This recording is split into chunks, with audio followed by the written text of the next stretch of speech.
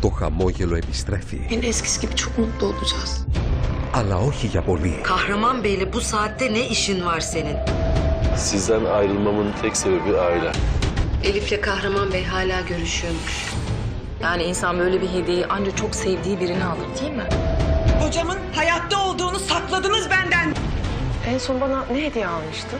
Στα δίχτυα του πεπρωμένου, αύριο στις 7 παρα 20.